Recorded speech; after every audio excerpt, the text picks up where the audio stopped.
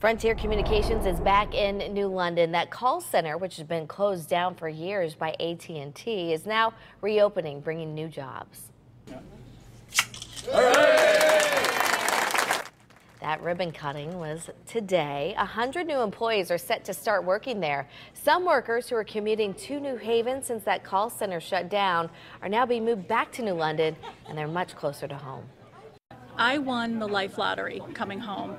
My coworkers and I traveled more than an hour a day, each way, every day. It gave us our lives back, and it gave us back to our families and our friends and our communities.